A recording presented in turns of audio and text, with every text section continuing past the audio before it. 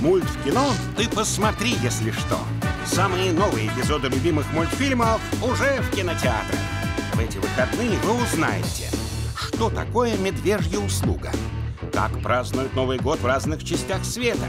Посмотрите еще три мультика и споете песенку. Мульт в кино — это только новые серии. На большом экране, с объемным звуком, всего 45 минут. Приходите в кинотеатры всей семьей в эти выходные.